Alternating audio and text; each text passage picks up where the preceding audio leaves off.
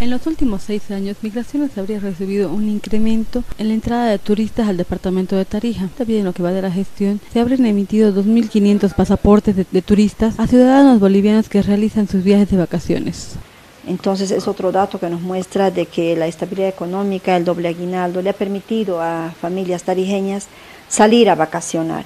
Y ahora por el cambio del peso argentino también es más conveniente para el boliviano cuando va que cuando ellos que viven allá vienen. Eso también se ha visto en el, en el ingreso del flujo de turismo que ha disminuido también este año. ¿no?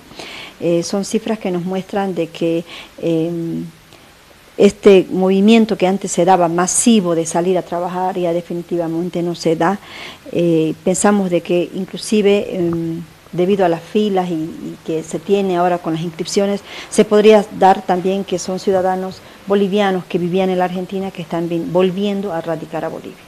Por otra parte, la directora de Migraciones informó que muchos residentes bolivianos están regresando a su país de origen. Eso demuestra que muchos ciudadanos no se encontrarían cómodos en los países que residen y por este motivo regresarían. Bueno, nosotros no tenemos la cifra, como le dije, si bien es menor a lo que ha salido, pero sí hubo un incremento frente al año pasado, ¿no? de la gente que ingresó y vamos ahora a revisar estos meses si esa gente retorna o no, si vuelve a salir o se mantiene. Entonces estas cifras serían ya las cerradas para el 2018. Vamos a ir midiendo mes a mes este movimiento para saber si de esa gente que, que, que vino supuestamente de vacaciones retornó o no, porque eso se va a ver en los movimientos.